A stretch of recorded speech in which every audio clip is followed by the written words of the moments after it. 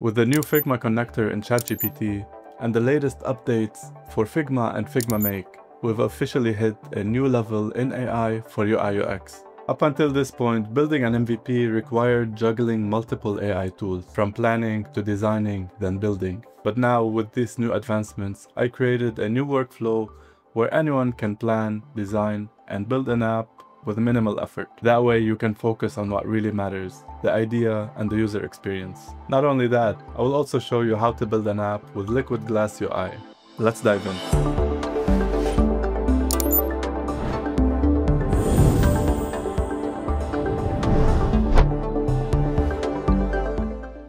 Hi, my name is Jad.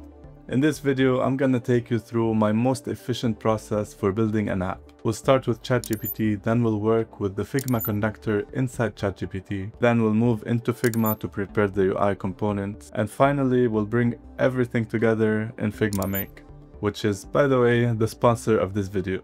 I'll show you how Figma Make tied everything together for me in my process later on in this video. But for now, let's start with the plan. We will start with generating the project brief then we'll come up with features. After that, we'll generate a flowchart. Then we'll move into the UI component. And finally, we will train Figma Make on our own component library. That way you can build a product based on your own components. And of course, each section will include tips for getting the ideal results. Make sure you follow the first four steps in order before getting into the build. That way you will have a structured approach that gives the AI all the context that it needs to build the UI. And the other benefit of following this workflow is that you will be able to direct the project towards your vision. You will be in control at every step of the way, making design decisions and approving the AI output. Okay, follow along. This is gonna be super easy.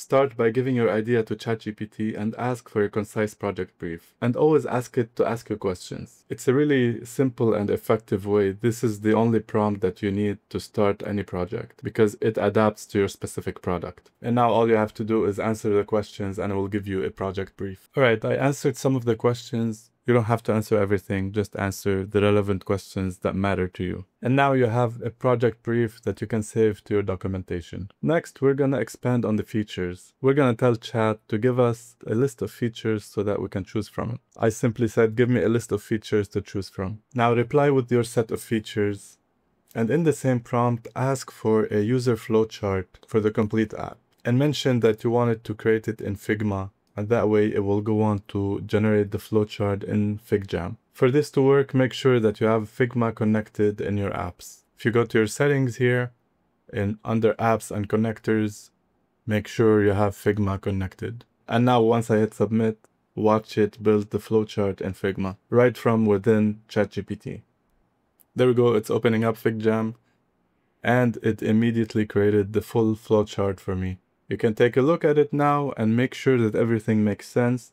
And if you have any changes, you can communicate with ChatGPT from within the canvas here before moving it to Figma. This flowchart is very accurate for me. It really reflects the features that I wanted to include, especially how the AI learns from the feedback button and approves the future AI curated feed.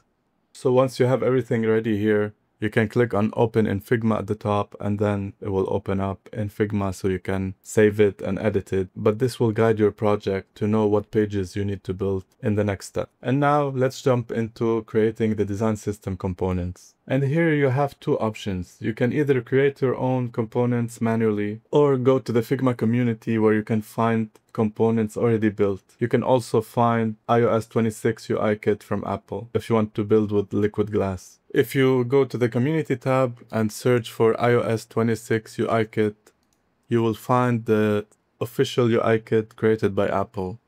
You can click open in Figma and then I'll show you how to save the components to use them in Figma Make. So here I copied the file and I have all of these pages with the components already built. We have all of the UI elements that we might need and it's all in component form. And this is essential. If you want to use any other UI kit, make sure that it has components built in. Otherwise, you would have to create the components yourself. So if you want to create your own components, you don't even have to use the Apple design system here. You can just create them easily. Make sure that you select the frame tool in Figma. I'll just show you how to create a button, for example. I'll change the size here. I'll make it 130 by 48. Here I have a button. I'll call this button. Uh, for Liquid UI, the corner radius is very high, so it should be pretty much rounded. So the rule here, if the height is 48, the corner radius should be half of that, which is 24. So I'll make it 24 here. And there we go, have a perfect rounding. And then we're gonna go to the effects here. And under the effects, we're gonna select glass. And now here you have a bunch of properties and parameters to control how your glass UI looks like. From refraction to depth and dispersion and frost. And if you want to see the effect properly, add a background so that you can see how it interacts with the background. I grab the background here.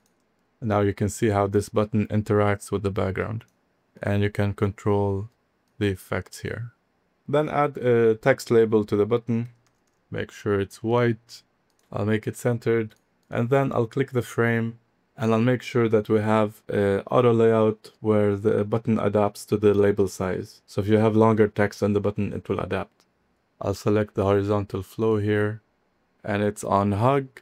That's good. That means if we expand the button, it will all adapt. Now that we have our liquid button, all you have to do now is convert it into a component. You can hit Command Option K or right click and say create component. And now we have it in purple. That means it's a component. Once you have components in your file then you can go into the assets tab on the left side and here click on the little libraries icon at the top. And you can see your document is not published. Publish here and then you can see the components that will be added to the publish. And you can notice here that the export to figma make button is not active because you need to publish your library before you can export it to figma make so hit publish. And this may take a few minutes depending on how big your library is. Once your components are published, you can go back to the same button here at the top and click again on publish. And now you have this export to Figma Make button available. Once you click this, it will take a few minutes again to convert it into code. And when it's done, you can go to a Figma Make project with your components library built in. Here, if you click go to Figma Make, it will start a new project with your library selected. Here it says untitled because I didn't give a name to my design file. But here you can choose from any of the libraries that you have published and it will build your product using that library. So I did the same thing with the iOS 26 uh, UI kit and it's available for me here to work with. I have all of these libraries that I published. So if you want to use the Apple library, all you have to do is copy it to your space and then go to assets and then the libraries button again. And here you can publish your whole library. And you can see that this library has so many components already built in. There's like three or four hundred components inside of this iOS 26 library. So all you have to do is hit publish then export to Figma Make and then go to Figma Make and select your library so here I'm gonna select Apple iOS 26 that's what I called my library and now to start building the product, we prepared Make with our own component library. Now we're gonna go back to ChatGPT to come up with a good prompt that will allow Figma Make to build the homepage. Okay, now back in ChatGPT, we're gonna tell it to give us the details and instructions for the homepage. Make sure you mention the product type you're designing for because it makes a difference. If you're going for a mobile app, make sure you mention that and mention the styling that you're going for. And then I said include the elements and components to be included. So we're designing the homepage for a mobile app. And this should get ChatGPT to give you the exact instructions to give to Figma Make. And this will also be based on your flowchart. So here ChatGPT knows the details of your full project and it will make sure to cover all your requirements. Okay, give me a lot of details here and these instructions for liquid glass are important because our components have the UI, but they don't have the interaction with liquid glass. So these instructions will give it details on micro interactions and UI feedback to the user. I'm gonna copy everything except for this implementation tips here. I, I don't need to give any tips to Figma Make on how to build it.